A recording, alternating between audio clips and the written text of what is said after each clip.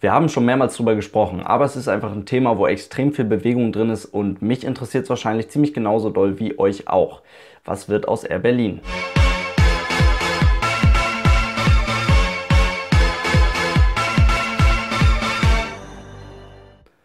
Und damit hallo und ganz herzlich willkommen zu einem neuen Video. Wie gesagt, bei Air Berlin ist gerade eine ganze Menge Bewegung drin. Wir wissen, dass die Airline ultra hoch verschuldet ist und jeden Tag richtig viel Miese einfliegt. Fast 800 Millionen Euro Verlust waren das im Jahr 2016 und jetzt fliegt die Fluggesellschaft jeden Tag knapp 3 Millionen Verlust ein. Und so kann eine Fluggesellschaft und ein Unternehmen überhaupt ja an sich irgendwie gar nicht funktionieren. Finanziell unterstützt wird das Konstrukt Air Berlin seit einigen Jahren, genauer gesagt seit Dezember 2011, von der äh, Fluggesellschaft Etihad Airways aus Abu Dhabi. Seitdem hat sich die wirtschaftliche Situation der Fluggesellschaft aber überhaupt nicht verbessert. Das Ganze wurde immer, immer schlimmer.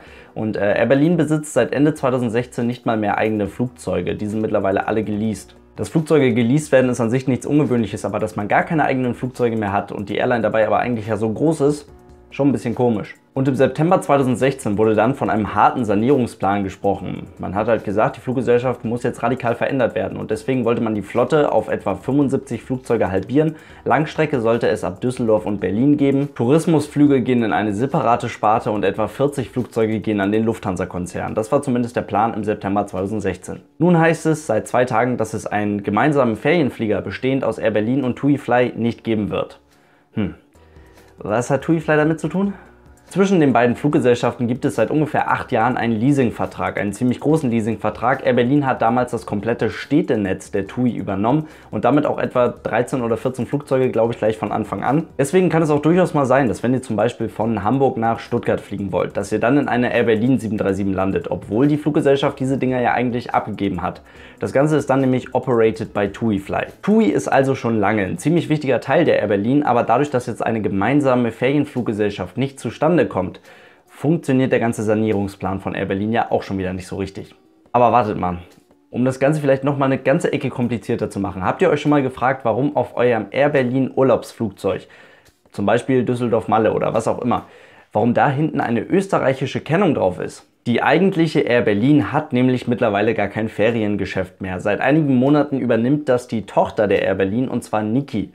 Und die kommen halt aus Österreich. Und das alles läuft unter der Leitung des Großaktionärs Etihad. Aber wie gesagt, eine gemeinsame Fluggesellschaft, eine gemeinsame Ferienfluggesellschaft zwischen Air Berlin, slash Niki und TUI Fly wird es also nicht geben. Hm. Wir sind also mittlerweile so weit, dass die Air Berlin als Unternehmen ja eigentlich gar nicht so richtig funktionieren kann, oder? Und an der Stelle, um das Ganze ein bisschen interessanter zu machen, bringen wir da mal Lufthansa ins Spiel. CEO der Hansa, Carsten Spohr, hat nämlich öffentlich bekannt gemacht, dass er durchaus Interesse daran hat, die Air Berlin zu übernehmen. Denn damit würde man ja mal eben den größten Konkurrenten innerhalb Deutschlands einfach wegfrühstücken. Auch nicht ganz unwichtig ist ja eigentlich, dass an der Spitze der Air Berlin mittlerweile mit Thomas Winkelmann auch ein ehemaliger Hansa-Typ sitzt. Also Lufthansa und Air Berlin in irgendeiner Form zusammenzubringen, klingt doch eigentlich schon mal gar nicht so unwahrscheinlich. Lufthansa möchte so schnell wie möglich Eurowings wachsen lassen und zu einer großen Airline werden lassen. Und wie praktisch, dass Air Berlin ja eigentlich auch A320 und A330 fliegt, genauso wie die Eurowings das auch tut.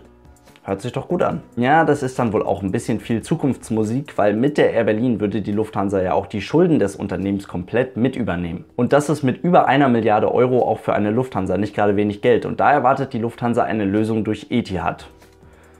In der Hinsicht bleibt es also ziemlich spannend. Genauso spannend ist, was Etihad generell mit dem ganzen Laden vorhat, denn man sichert der Fluggesellschaft durchaus für die nächste Zeit noch finanzielle Unterstützung zu. Hm, aber mal ganz im Ernst, so läuft das Ding noch nicht. Ja, wir halten also fest, bei Air Berlin kann es durchaus nicht mehr ewig so weitergehen und ähm, eine Lösung könnte da durchaus Lufthansa sein, obwohl da halt noch viele Sachen im Weg stehen, wie zum Beispiel die Schulden und die hohen Betriebskosten der Fluggesellschaft, was so nicht so ganz zur Lufthansa passt. Eine andere Lösung, TUI Fly, ach nee, das fällt ja weg. Geld vom Staat. Die Berliner haben nämlich bei den Landesregierungen von Berlin und Nordrhein-Westfalen, jetzt mal ganz doof übersetzt, nach Geld gefragt. Und eigentlich kann ich mir auch durchaus vorstellen, dass die jeweiligen Landesregierungen durchaus Interesse daran haben, dass eine Fluggesellschaft wie die Air Berlin in Deutschland neben der Lufthansa läuft und funktioniert.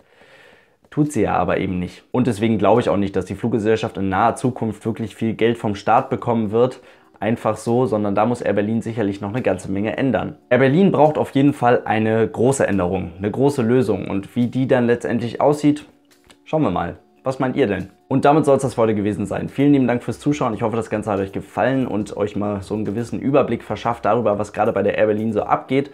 Zumindest ist das das, was ich so jetzt überall rauslesen konnte. Ich wünsche euch noch eine schöne Woche, einen schönen Tag, wie auch immer. Lasst es euch gut gehen und dann bis zum nächsten Mal.